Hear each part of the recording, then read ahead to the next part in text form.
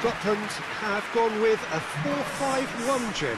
Well, this setup, Peter, can be very defensive if that midfield is in place purely to form a protective layer in front of the back four. But it can also be the launch pad to very quick counter-attacks. If you can offer pace and accuracy on the front foot, it can have a, a devastating effect, actually, uh, at the...